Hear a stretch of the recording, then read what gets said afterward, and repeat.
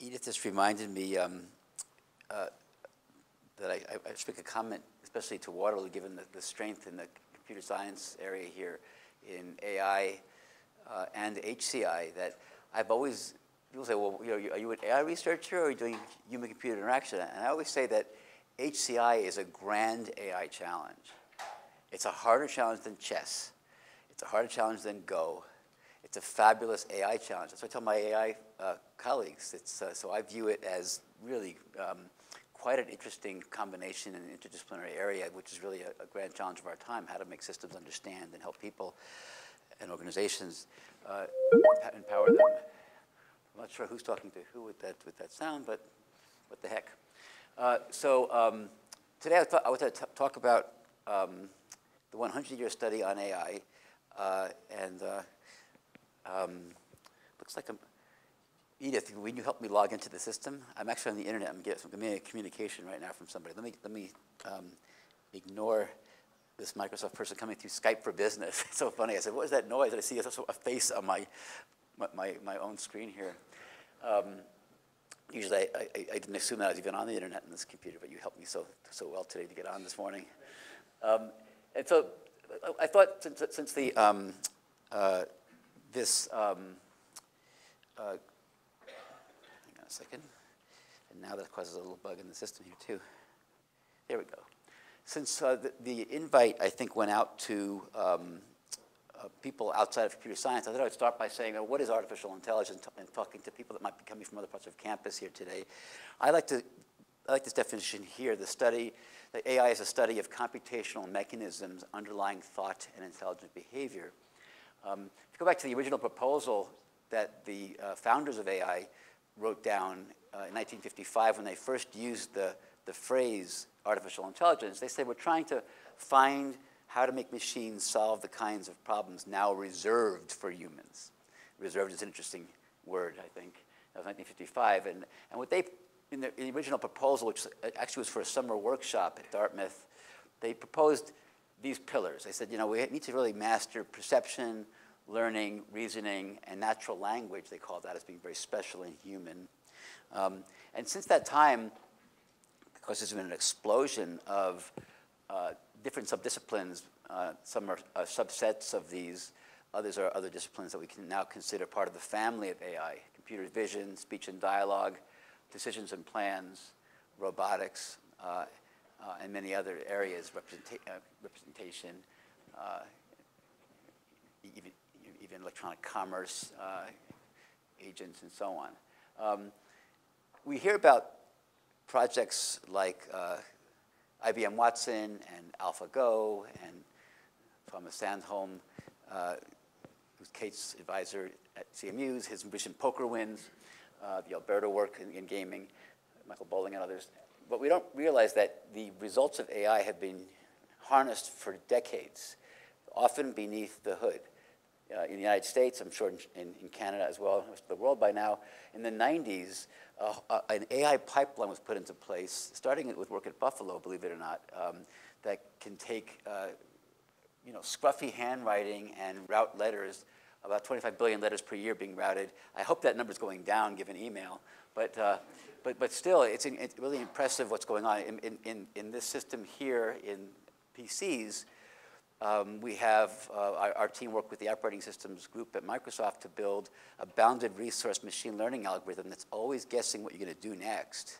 And it's prefetching and pre-computing during idle time to make your computer seem a lot more powerful than it really is. So these kinds of things are happening everywhere, even if we celebrate the big, giant, you know, newsworthy kinds of um, achievements.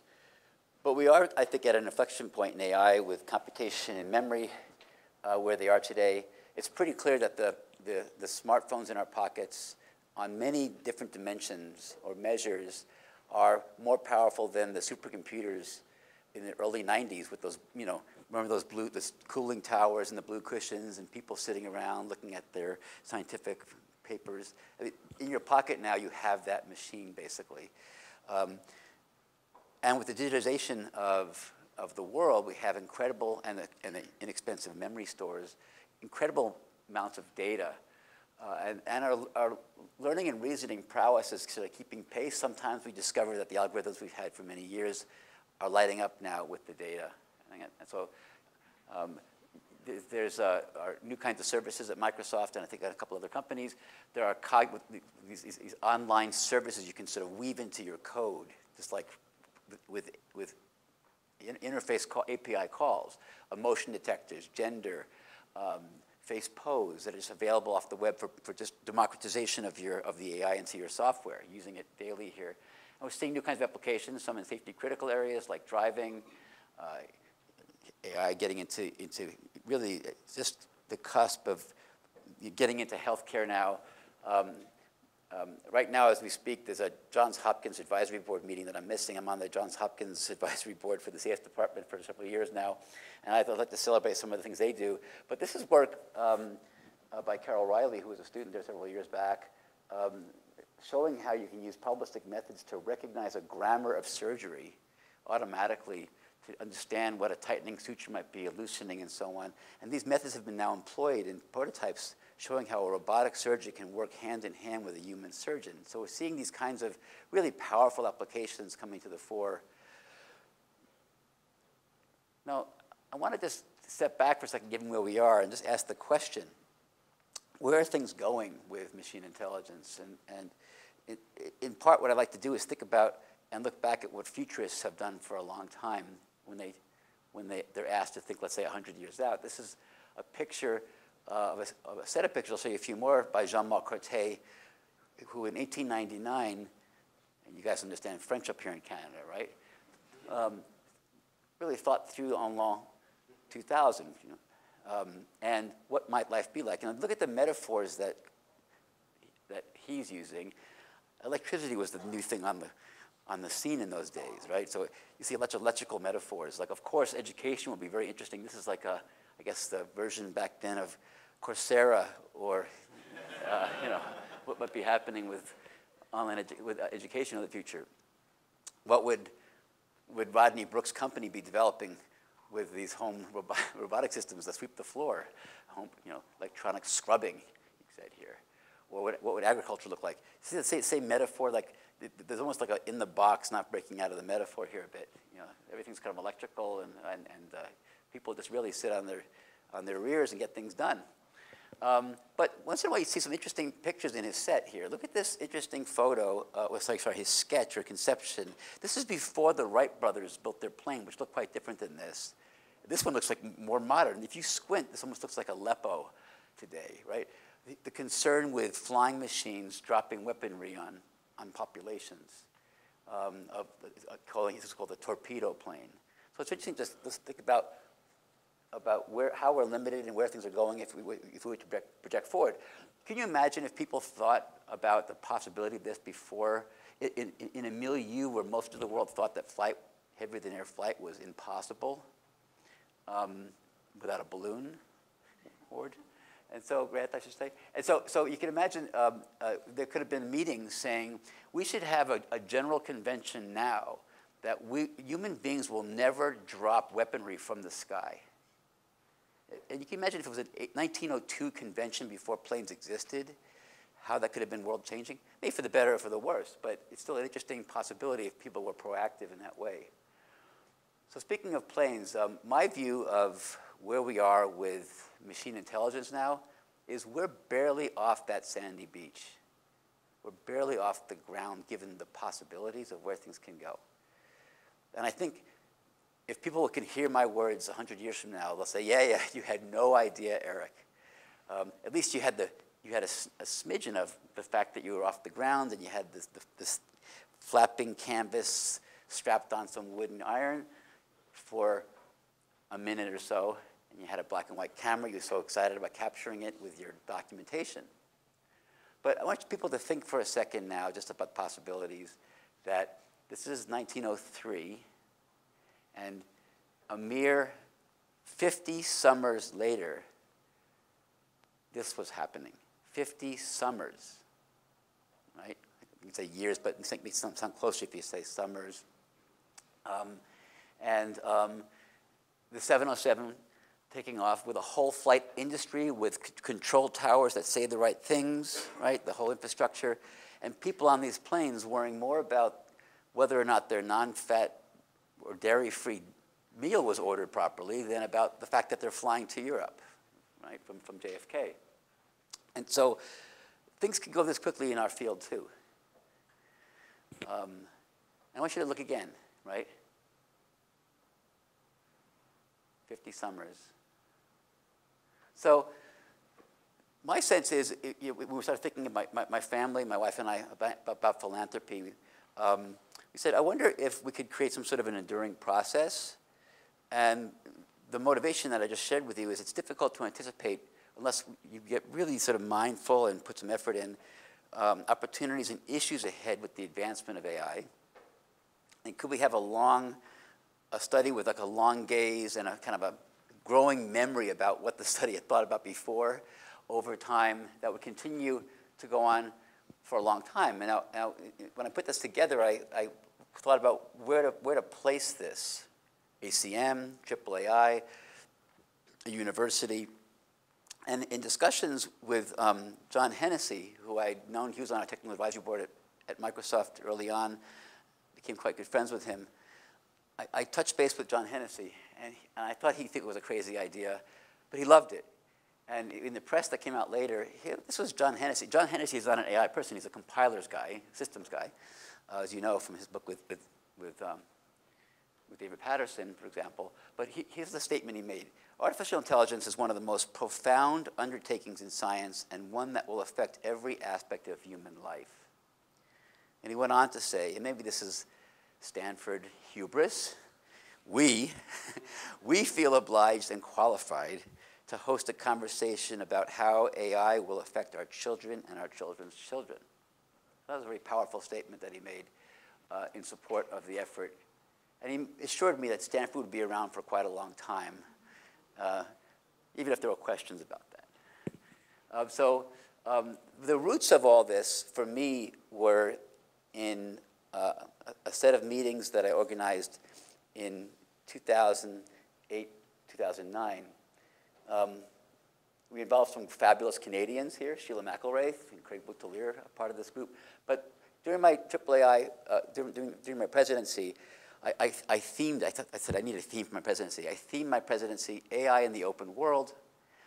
And I, in my presidential lecture, I talked about the, need, the, the, the, the interesting technical challenges with robust AI as, it, as you translated it into the larger world that was much, much bigger than the representations and uh, and, the, and, and the design considerations that went into the construction of the systems. I also said we want to sort of have initiatives thinking about AI in society, how, it will, how this, these technologies will be influencing people in society. And finally, my third pillar was turning myself back to the organization. Let's open up this organization. Let's get rid of this lock on all the literature and publications. Now was a big fight, but, we, but I was successful. And AAAI became one of the one of the few societies that opens up its literature completely um, at the cost of and the risk of losing membership for people who paid to be a member to gain access. And that was a big internal fight we had that we won. But back to the middle one. So I, I basically said, let, us actually um, create a, a long-term, we call it the presidential, AAAI presidential panel on long-term AI futures. We called together a team of folks. This is some of them. Some couldn't make it to the actual face-to-face meeting at Asilomar. And we met over several months. We had three, work, three working groups. One was AI and short-term disruptions. The th second group was on, was on long-term futures, even considering notions about runaway AI and the kinds of utopias that Ray Kurzweil talks about, and the kind of dystopias we hear more, more frequently now, uh, written about on AI takeovers and loss of control, and so on. And then we had an ethics and legal panel or, or subgroup uh, that Edwina Rissland uh, um, and David Waltz, um, late David Waltz, uh, co-chaired. That was fabulous. And so we got together and we had a, a, a, day of meetings. And let me just say a couple things about those, those the, the, meeting we had at Asilomar. Um, we, we didn't publish most of the work. We, we have the whole transcript and video online. And one day we'll put it on, we'll put it out there, I think. Um, publish a short report, but it was just a fabulous, interesting meeting I'll mention, let me mention one thing. So I asked Andrew Ng on the first date, I said, I said, kick off the day by telling us, a 15-minute talk, what will surprise us. This was February 2009. What will surprise us in the near future? And he gave what you could later call a deep learning talk. Um, the deep learning bump that I showed yesterday in my talk, the, the technical talk yesterday, um, that bump down or the bump up, depending on how you want to phrase the utility, the cost function, that happened in August of that summer, a few months later. And several other things were said that became to the fore. Like one phrase I hadn't heard before that the short-term disruption group was working on was the phrase criminal AI. And we're seeing more, we're seeing, we're seeing things like that. For example, Stuxnet that was being developed right around the same time as we were talking about possibilities that even go beyond that, of course. So given how valuable it was, my thought was, oh, and by the way, if you, if you just want to look at headlines, this was, just to give you a sense for how the, the public saw this meeting, when John Markoff wrote a front page New York Times story about it, was this. I mean, it was so much broader than this, but this was the, this was the catching headline, right? Um, but my comment was to myself uh, in 2014, almost five years had passed, and I said, I wonder if we should do this study again, if I can convince the AAA to do another study again. Then it hit me, you know, induction, n gets n plus one, and maybe we should do this forever. And I spoke to my wife and spoke to friends and colleagues and other people, and we said, Let, us go for this thing.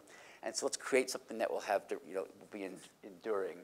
And so uh, one thing I did, you can read this online, there's a, there's a very short, um, like a four-page framing memo at the ai100.stanford.edu site where it's just a short set of paragraphs, and we said, hey, uh, circa 2014, um, here's what we think are some interesting issues going forward with AI. We talked about each one.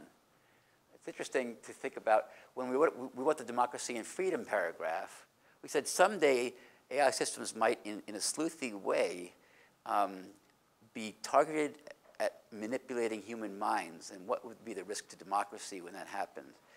And we thought, you know, this is like a problem that might come up like maybe, you know, 50 years from now or who knows when. Uh, and all of a sudden it's like, you know, headline news, and it's not even AI just yet. Just yet, mostly. We're not really sure at times what kind of machine learning is being used, for example, in what we've seen with the fake news cycles in the last US presidential election. But several other topics here as well. Um, so the way it works, just going to nuts and bolts right now, is that there is a standing committee that will always persist with rotation with a chair.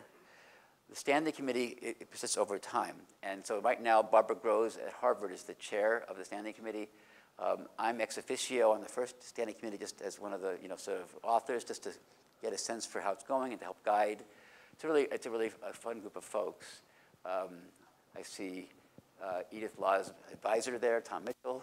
He's been very, very helpful, uh, and other, other folks. So the idea basically is we take the Asilomar study, the AAA study, as our first study. We say, we, we claim it. That was the first, that's the ancestor study. And then in 2015, um, we said that we want to publish a report. And the basic idea is the standing committee gets together and meets. We'll be meeting again in, in a week um, or by our semi-annual meeting. Um, and they come up with a charge.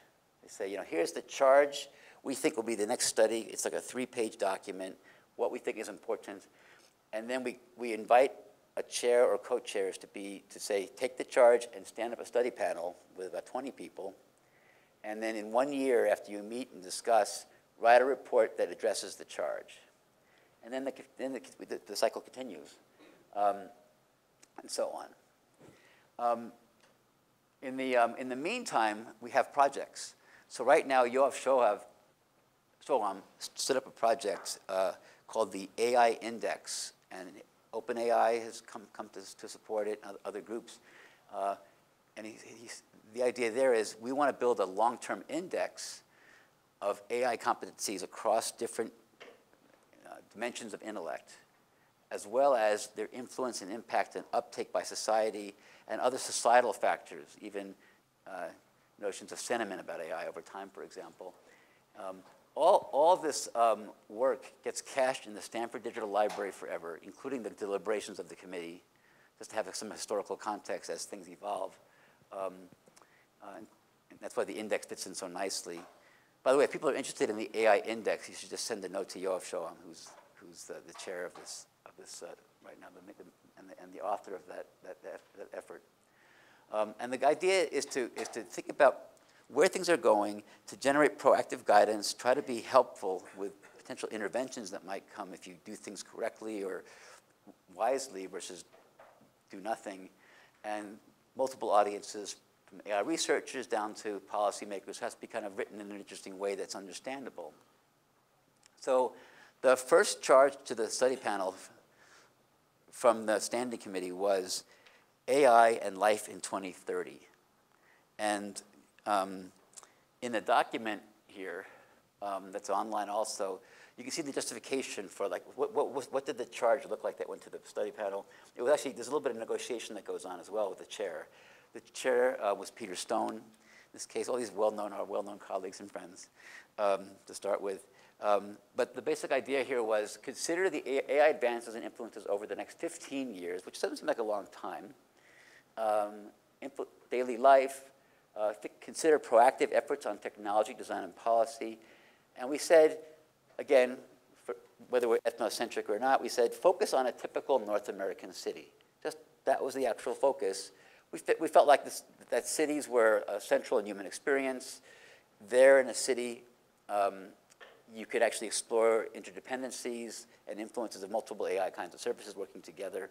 Um, and we believe that you, North American, you know, it's like applies to Western Europe and maybe other cities as well. So you see it has a kind of interesting focus to it. Uh, we asked Peter Stone, was uh, my first choice to stand up the panel. The reason I invited Peter was Peter was so passionate in the Asilomar study. As a young new, you know, new professor, he couldn't make the Asilomar meeting. He said, I have to be coming in on the, you know, on, the, on, the, on a conference call from Israel where I'm, where I'm visiting as a researcher. And so we had a sense that he would take this up and really be enthusiastic about it. And he stood up a committee of these folks here that I'm, I'm putting up uh, from different uh, sectors, uh, academics, industry, uh, folks like Astro Teller from Google X, um, Ece Kamar from Microsoft, uh, Ryan Calo does law and so on, Greg, Greg Hager. Um, and so the report that came out of that process is now also online. It's a PDF and uh, called AI and Life in 2030. It's pretty impressive when it came out in September, the uptake that it got around the world. Um, what I found most useful in it, it was written for people who just read the like Wired magazine and the New York Times and Wall Street Journal. What is AI? There's a beautiful section about what AI is that was really well written.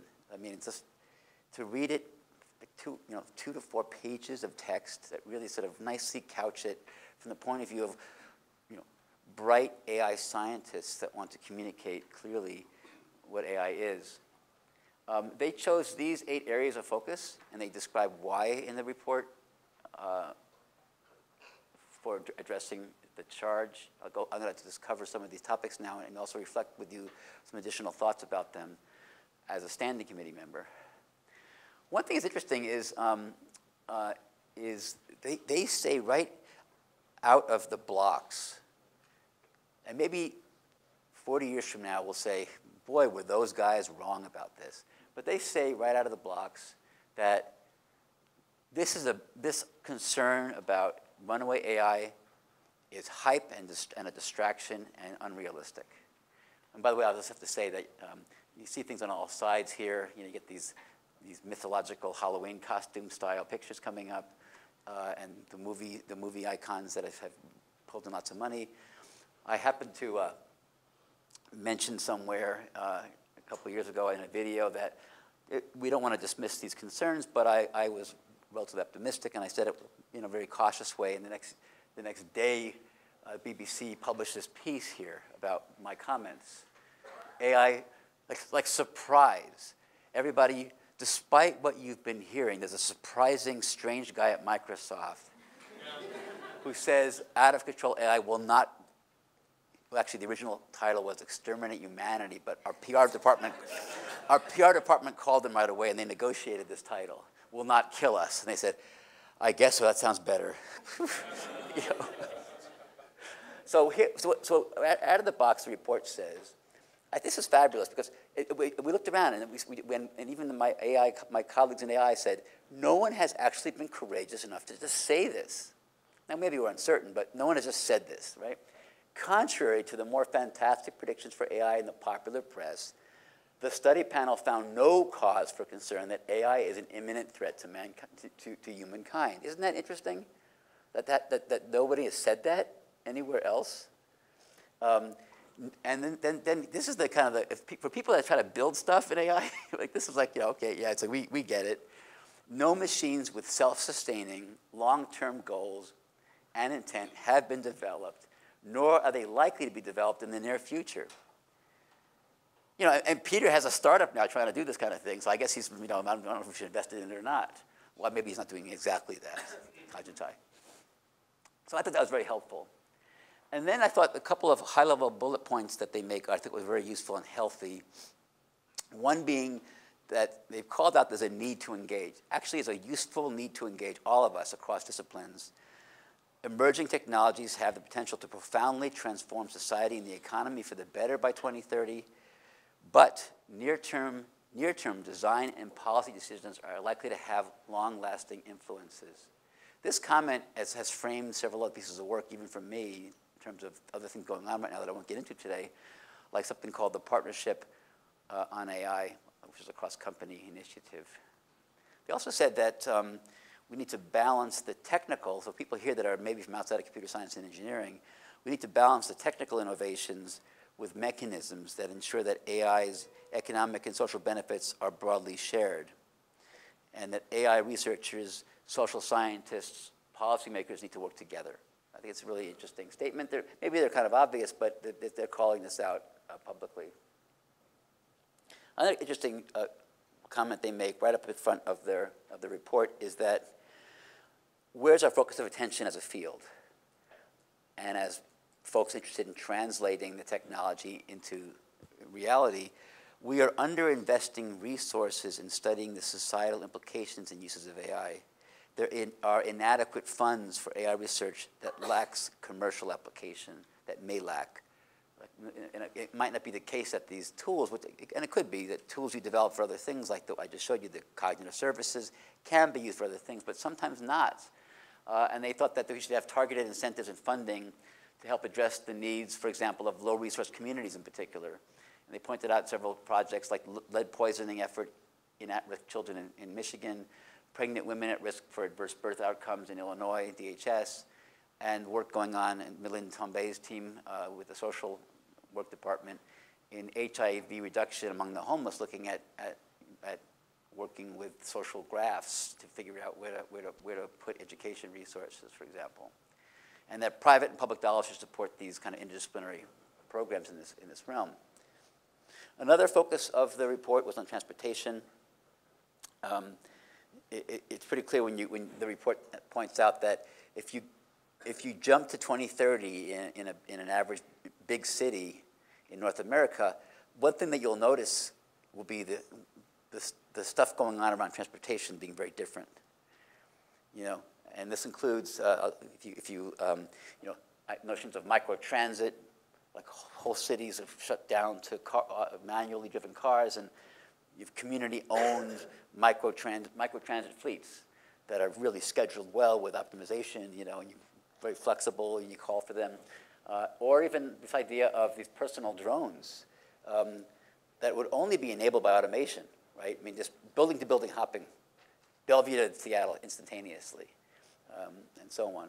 Um, and so the comment, the comment there was that um, uh, autonomous transportation will soon be commonplace, um, and this will be an interesting comment on the first here.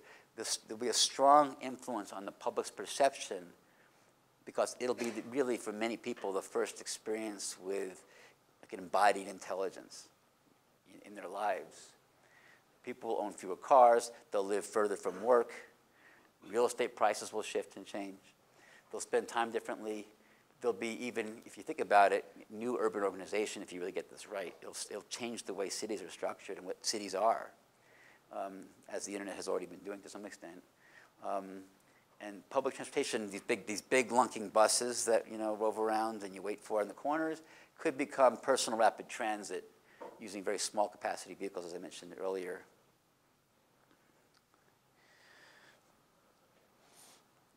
In healthcare, um, they, they basically made the comment that, um, that there's, a, there's, a, there's a really, uh, you know, they pointed out that like healthcare has been this long uh, um, aspirational dream in AI. AI in medicine is actually a subfield, and but as I said yesterday, it's one of the big surprises is that very little has happened to date in many ways uh, in, in core clinical medicine, um, and that AI, if AI methods promise to change the cognitive tasks of clinicians by 2030, if there's sufficient data and there are well-targeted systems, and they mentioned, they mentioned some of the issues I mentioned yesterday, that the healthcare field is structurally ill-suited to absorb and deploy these advances, held back by regulatory, professional, and commercial obstacles. Um, and this comment, we all know this is true, and we just don't see it happening so fast, so yet, yet there's opportunities to learn from, from boatloads of data and scientific literature to do personal diagnosis and treatment, create true cognitive assistance uh, that just hasn't happened yet. Um, uh, the, the calling out, which I think we all know, that, you know, one job that will never go away, no matter how much competition we have, is, is, are, is, is important work around human touch and connection between humans.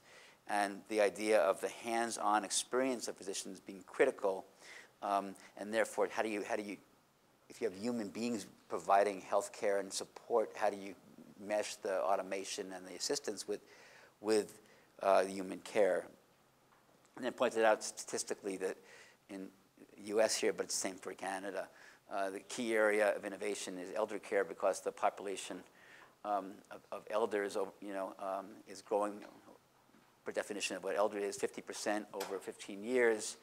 Uh, and the need for home, human home health aides today is believed to be growing, will be growing to 40% over 10 years, given our better health and the, the, the, our demographics going towards, towards the aged.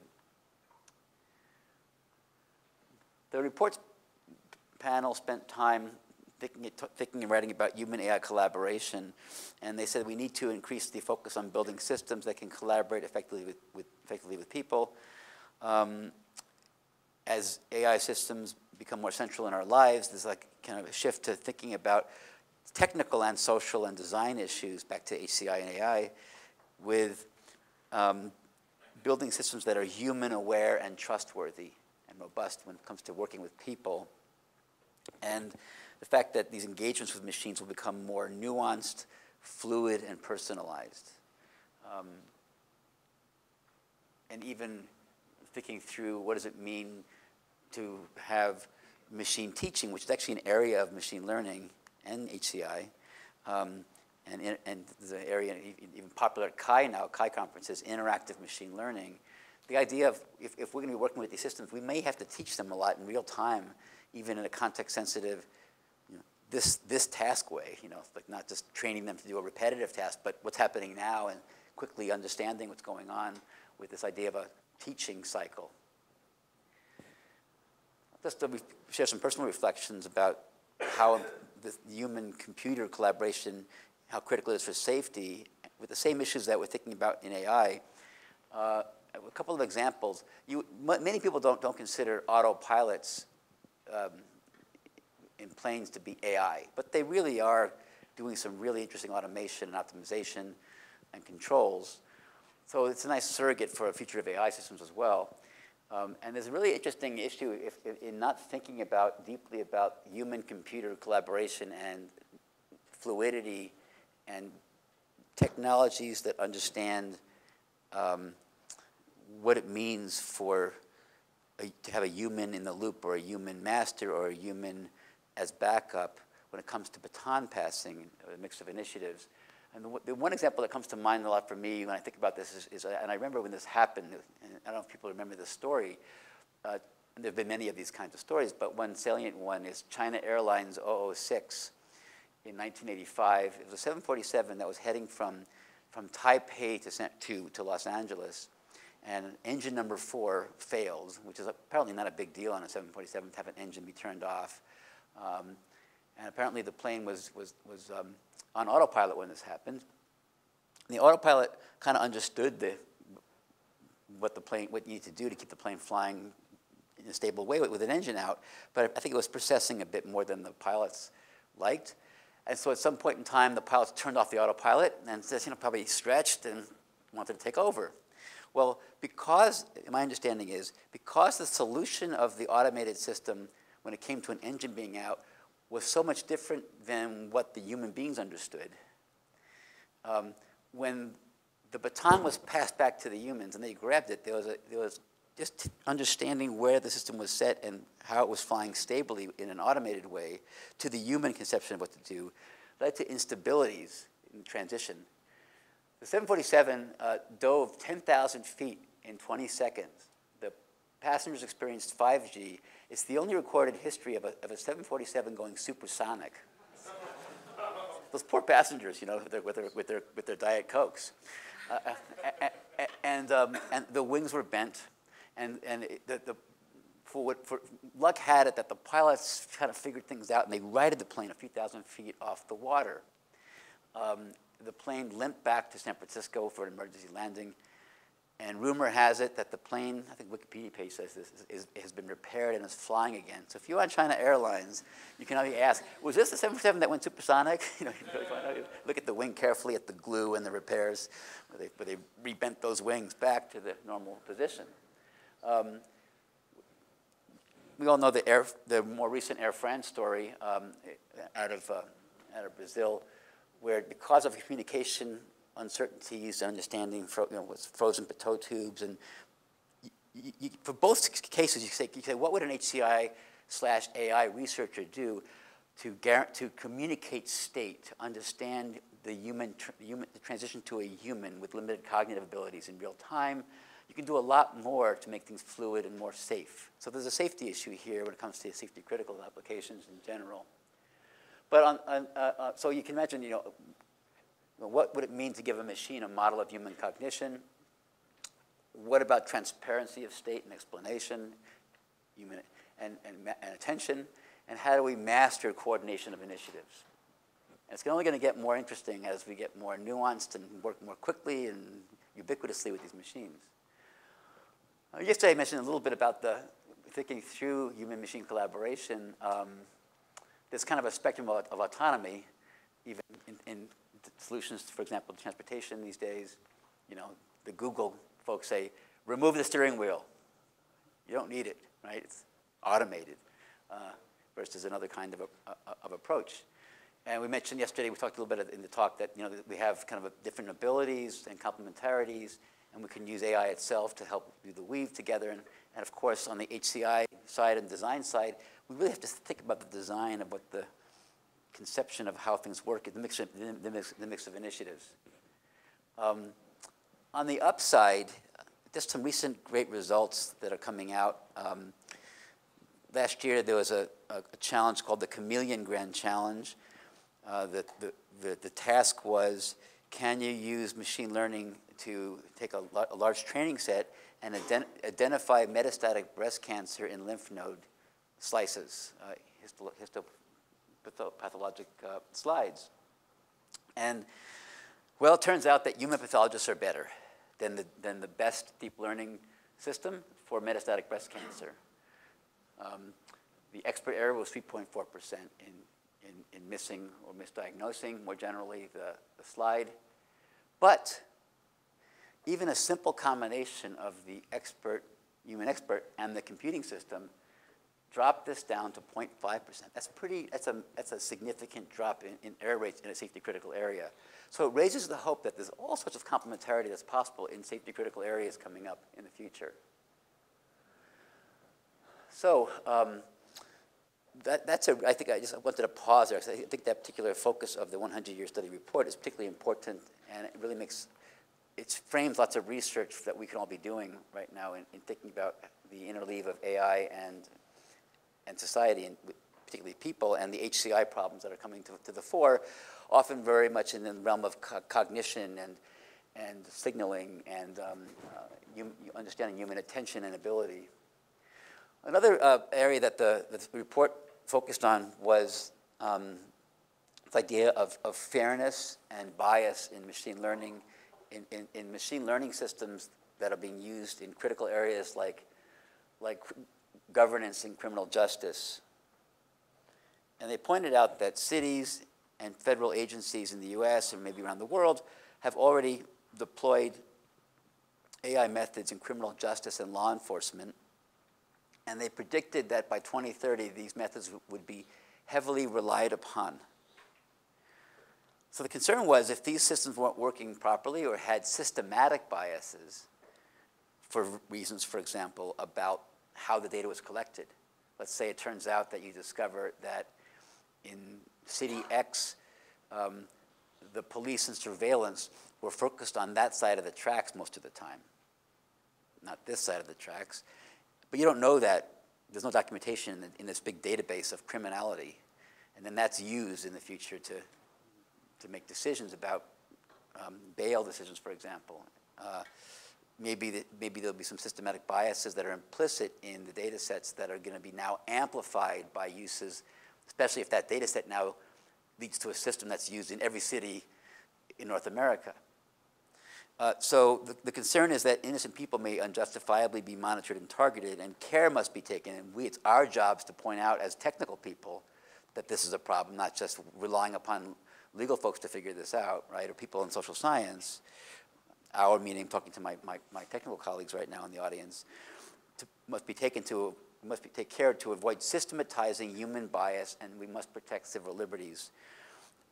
And the hope that you know, if AI gets us a problem, puts us in a, in a problem spot, maybe AI tools can provide new kinds of transparency to detect, remove, and reduce human bias rather than to reinforce it. We're kind of at a turning point, right? We can, we can, things can go the wrong way, or we can see, say, wait, this is, let's step back a bit, and maybe we can apply these methods to check, for example, is this classifier fair to multiple key constituencies, age, skin color, uh, voice quality, accent for speech recognition, for example. Uh, this is a really um, powerful statement here, that society is at a critical juncture about how to deploy AI-based technologies so as to promote rather than hinder democratic values such as freedom, equality, and transparency. This, to me, is like, this is like probably the most important statement in the document I mean, in terms of where things are going. And then staying kind of in the legal ethical realm, which we hear questions about legal and ethics, and people want to teach classes in this, and there's lawyers getting active, and people are saying with hands on their hips, you know, who's liable when that car does X? What about that ethics issue with the trolley problem and so on? Um, um, I like the way they wrote, they said this. As AI applications engage in human behavior that, were it done by a human, would constitute a crime. Courts and other legal actors will have to puzzle through whom to hold accountable and on what legal theory. Uh, and uh, this whole idea that um, law, you know, is when you I'm not a law ex legal expert, but the more I have dug into it, it's really built on, it seems, they have some principles, but scenarios and precedent and histories of precedent. And there have even been AI dissertations written on reasoning systems that do case-based reasoning and probabilistic analyses of previous cases and similarity to make judgments. And it's, it seems a very tough and challenging intellectual endeavor law. It's not necessarily built on, you know, it's not, it's not, a, it's not a theorem prover by any means to understand what a jury will say and what precedent becomes in different parts of the, of the world for different situations and events with their emotional content and so on. So it's interesting to think about, well, what will happen with laws? And the answer is we don't know. And we can't say who's liable now because these questions have not, many of them have not been addressed by the, the formal legal machinery yet. But you can imagine when these questions come up, we all, people who study these areas, these, these issues in, in, AI, for example, and agency, principal agency and decision analysis, we want to weigh in too, and not just have precedent be, to begin to grow that might not be conducive to quality of life or, in, or innovation in the future. This interesting issue is, of ethical challenges will rise where human injury or death is likely and split second choices are made about whom to put at risk. There's a really interesting set of discussions I know in the, in the US that have gone on that, that have come up to the level of the president, President Obama, that, that we were monitoring and watching from some concerned people, mostly in the runaway AI type of concern that led to letters to, to, to the high offices. And there have been discussions about shouldn't we regulate AI? Um, and I've had, I've had, I'm glad this report came up with, this, with these comments because I feel the same way that when you say, shouldn't AI be regulated, that's kind of like, you get the impression that someone thinks AI is a blue-green gas that's going to be created and come through the vents. And, we, and that stuff we should regulate. In reality, it's, it's a rich set of disciplines with lots of inter, inter, uh, interlocking conceptual foundations with other, fields. It's computer science. Um, sure, maybe someday we'll, we'll know more about what certain kinds of configurations of these technologies are when it comes to more general intelligences. And maybe someday someone will say, yeah, back in, uh, you were at Waterloo, I saw that old grainy video that someone shot at Waterloo, and you sort of talked about that blue-green gas. Well, guess what? Now, I, just, you know, I, I, doubt that's going to ever happen, but, but for now, attempts to regulate AI in general said the report, would be misguided as AI is not one thing. Um, the risks and considerations are very different in different domains. And different industries need distinct and appropriate regulations. So, yeah, it's great in the US to see, for example, I know the, the, the, the Department of Transportation issued, it was like a, like a, like a 14 point set of recommendations about autonomous cars and semi-autonomous driving that made a lot of sense. They're all reasonable statements. Should that be issued by the Federal Office of AI Regulation? I don't think so. It doesn't make a lot of sense just yet. And so thinking about um, these, these industry-specific, focused areas of effort and maybe even regulation is interesting. And this other comment is that governments will need to will need their own AI expertise. So policy people will need to understand this work to, to scrutinize standards and technology developed by the private and public sectors and to craft regulations and guidance and best practices where necessary. Then on jobs and the economy, um, this is another hot spot. So if you ask, what I've noticed, if you ask a person in the street about AI and hopes and concerns. And by the way, I think hopes and optimism are still dominant out there. And you can read about that in the AAAI paper we did where we did, used AI methods to, to understand what people were saying about AI over the years. Of course, you have the rise of interest in general. Optimism is ahead of, optimism is ahead of pessimism. But if you ask people on the street, what are they concerned about? It's the AI takeover, Hollywood kinds of stories, Terminator, uh, doesn't Bill Gates and Stephen Hawking and Elon Musk, don't they tell us that's what's happening soon? uh, Nick Bostrom. And my jobs are going to be our jobs are being taken away. What am I going to do? Um, so, so it's pretty clear that, that AI is going to, as the report says, will spur disruptions in how human labor is augmented or replaced by AI, and this will create challenges. Um, in the near term, AI will replace tasks more than jobs, but you can see the jobs going if we sort of automate trucks, for example. I was really surprised how many, what segment of the U.S. population drives trucks as for their main source of living. It's really it's a bigger chunk than you would think, for example.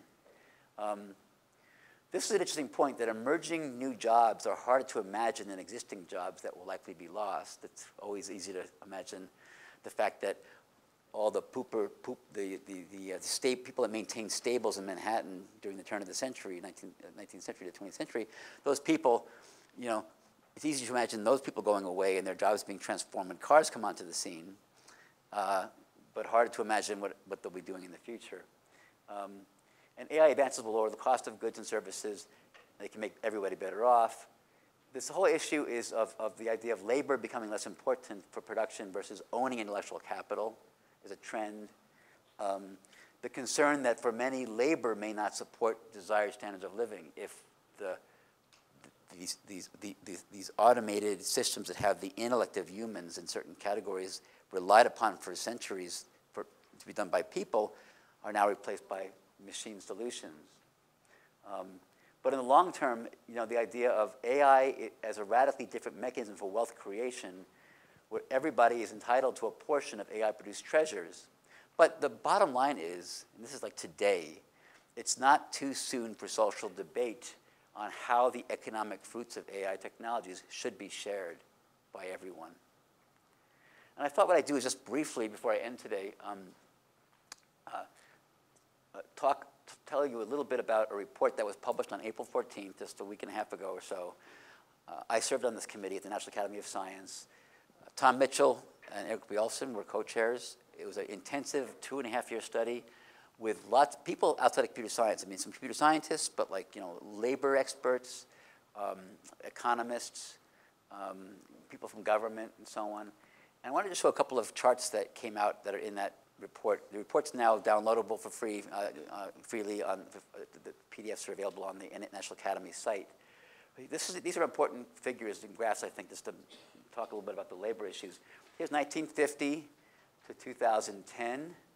And the two curves here I want to point out here are the, if you take the total wealth, this is in the, uh, in the US, the GDP, and divide it by the people, that's that kind of, if you just split the wealth equally, that's the real GDP per capita going up because productivity is going up. And when we're, we're, we're wealthy, we're generating new, more wealth over time.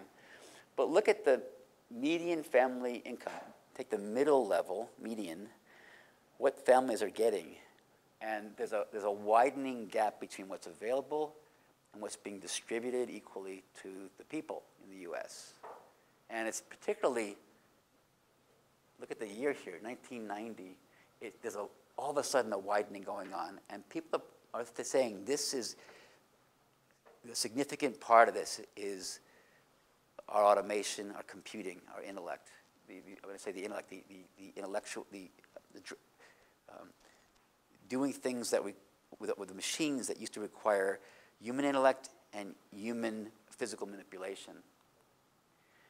I showed this at, at, at um, a university recently, bunch of college students. I guess I'm at a university now.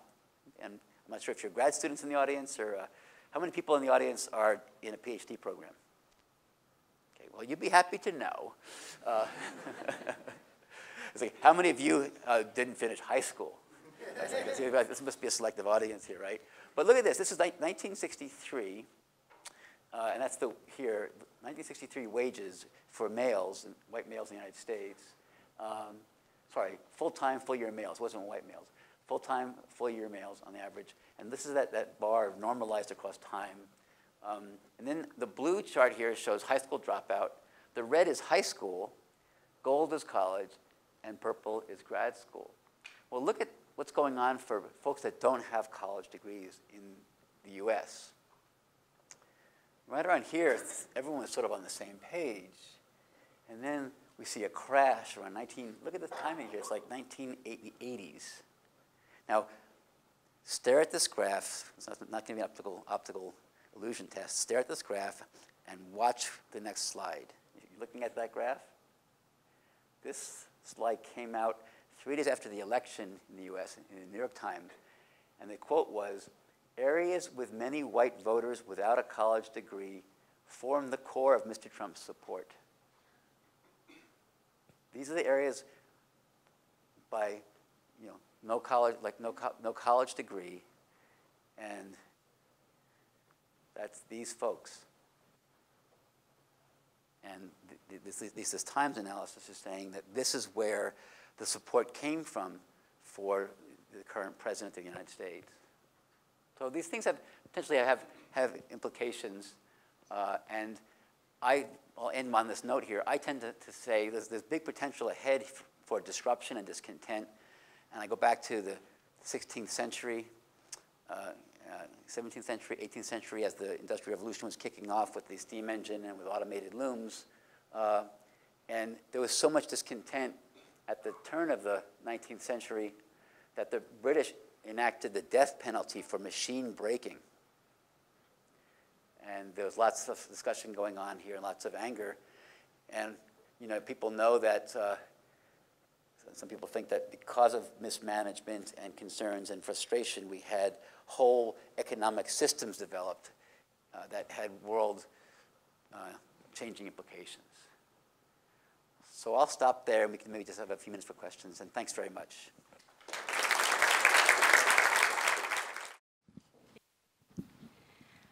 Um, I guess you touched on it a, a little bit um, at the end, but what did we learn? Say that again, last, last first part of your comment? I think you touched on it a little bit at the oh, end. Oh, touched at the end. Yeah. Okay.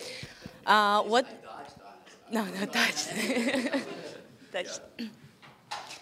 From your experience and observations, what did we learn about, you know, society and humanity from this developing of AI that, I guess, in some degree, mimics humans, right, and mimics human behavior and thinking. Abilities, for example. What did we learn about? About humans, about, about us. Oh, I see. Well, many people in the AI community believe that you know, one of the big um, draws is we learn about human intellect by studying incarnations of that in the computational venue. And indeed, that uh, I, have, I, have, I, think Alan Mackworth uh, over at UBC has mentioned this to me before several people don't like the, the word artificial intelligence. And they say, wouldn't it be nicer to have called, I think Alan says this, wouldn't it have been nicer to call the field computational intelligence because it refers to humans and machines? So I think in part we do learn about ourselves. And I have certain results over time in my own work that make me most excited because I think about what it means for me as a mind and us as minds, what, the implications are of this, like, you know, this proof and this result. Huh, that must mean I must do something like this too, even if, unfortunately, approximately. so I'm not sure if I gave, gave a good answer, but maybe that was a good answer for some people in the audience. Yeah. Here. So for centuries, uh, we had automated intelligent vehicles with a very sophisticated human machine interaction. They were called horses. Uh, is there, in terms both of sort of the human, you know, intelligence interaction, or, but also in terms of regulation, in terms of all of these, is there a comparison to be made that, I mean, we've been working with, let's yeah. rudely call them lesser intelligences for the entirety of human existence. Is there a, a space for AI as just another of these? I, I think it's a really great analogy. Um, I'm not a horse rider, but, but I've been on horses. And I often refer to people driving the Tesla, I say it's kind of like learning how to ride a horse because you really got to know all these strange nuances of what it recognizes, what it might not recognize up ahead to take over quickly, even though before the car tells you. Uh, there's a learning curve there, and it's not, quite nuanced, right? And so you watch people. I just was actually uh, watching people um, riding horses, and it's really interesting the signaling that goes on and the learning that has to go on, and the standards versus personalization of a horse and their their um, the rider. Um, it, the other comment is um, horses are, I wouldn't say they're less, they're brilliant, right? These are brilliant vertebrates. Yeah, but different, well, but they're very similar, right? They may not have language skills, but vertebrate minds, I probably, my view is, are quite similar, uh, especially the higher vertebrates. And uh, so you're dealing with a very brilliant um, uh, uh system or, you know, entity. Um, I, I, think I was talking with um, Ken Forbus, uh, who's over at Northwestern. Um, this was after the Germanwings pilot put the plane into the ground, the, the, the, purported depressed pilot. And you know, these are reports, of course, we don't know exactly what happened. And there was another plane that had been um, um, with a suicidal pilot per report that killed many, many passengers. And we had 9-11 where planes went into buildings. And when 9-11 happened, I wrote this paper, uh, an op-ed that said, airplanes should simply know better. How hard would it be to make an airplane know better about where it is? And certain things, it just, it just you cannot do with it. It locks you out. Um, so Ken Forbus, back to Ken Forbus, said, you know, horses would know better. Right? Horses would not run into a wall. Horses would not run into a building. So these basic representations and skills we, we assume in situated uh, creatures it's brilliant, right? And they know many things that, um, that we need to sort of, I'm thinking also about not just the human-computer collaboration, but the reliability and safety issues as well. Uh, thank you for your talk. I would like to touch on upon um, um, autonomy, and you, I think you, you kind of talked about this a little bit in your talk. So, as like uh, machines displace humans more in, in a, a society, like self-driving cars, um, you know, surgeries. Uh, I think there will be kind of like a zero-sum game in terms of uh, autonomy between humans and machines. Why do I say? That? I mean, because yeah, we have interpretable models like uh, um, uh, decision trees, for example, but they're not as good as like you know more advanced like uh, uh like uh, networks. And you know, if we're talking about self-driving cars or uh, surgeries, I will think they would be using more advanced methods. And when things go wrong, we would not be able to you know find out what's you know, what, what's what's happening there.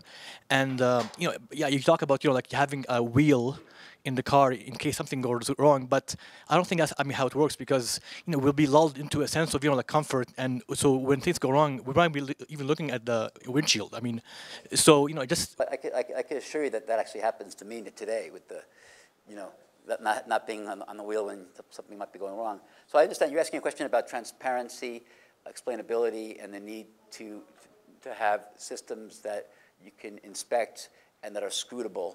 Yeah, I, I don't think there'll be like a, I, I don't think I think there'll be a, a sort of zero sum game between like autonomy between humans and machines. That, that's what, what I think, but I'm I'm not sure what you think about that. So you, you said several things. I, I think um, um, so. So I do believe that, um, especially for developing systems, we need to understand what's going on.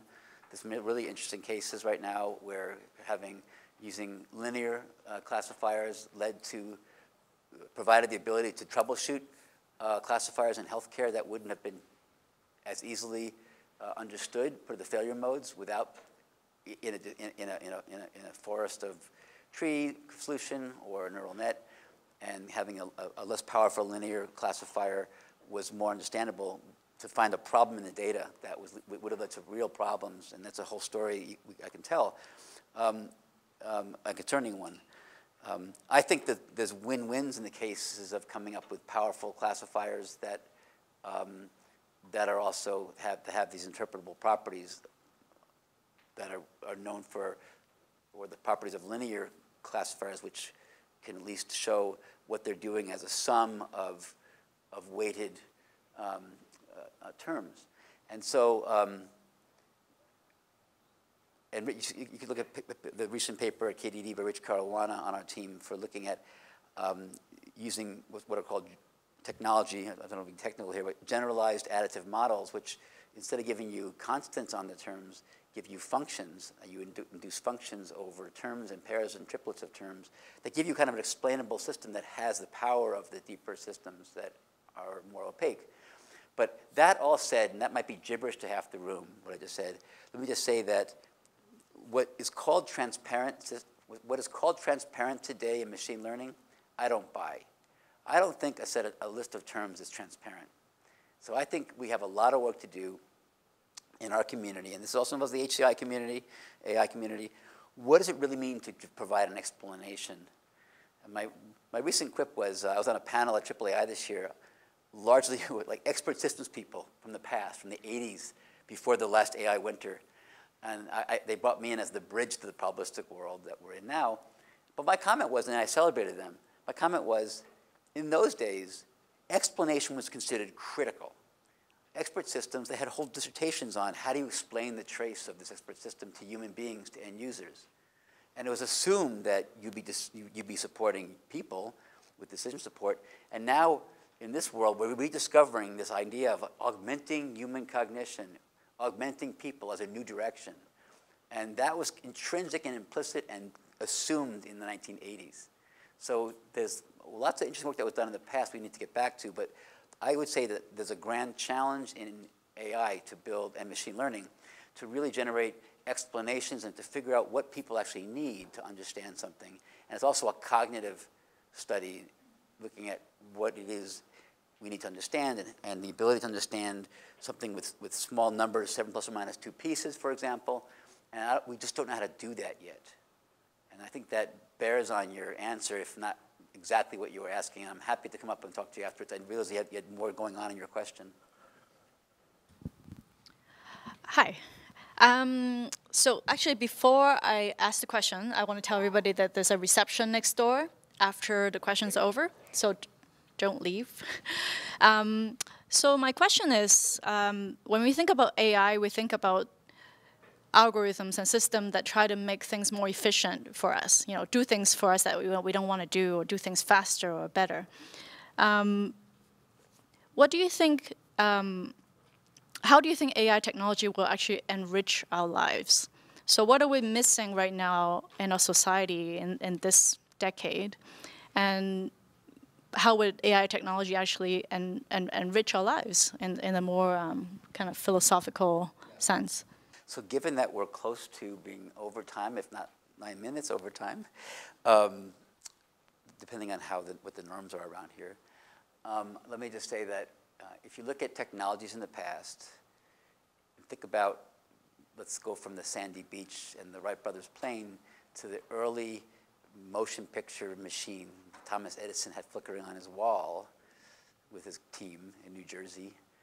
Um, and jumped from that flickering pictures of, and maybe a horse, speaking of horses, horse galloping, right, with a, a rotating disc, even before that, and flip books, to an intensive artistic scene in a movie today as the climax reached in that movie, and people in the audience understanding the kind of the deep meaning of what the director and the writer and screenplay, uh, what they were trying to get across. I'm sure AI technologies will be harnessed in these ways, in artistic ways, in ways that open our minds, that help us stay on focus, that you know, per our own interests, that help us clarify our goals in life, to empower us. And I'll just leave it to this audience to figure out what might come of that kind of push and the kind of natural, creative, um, life-oriented push that dominates humanity that's part of us, that makes us, that gives us our civilization today. I'll stop there.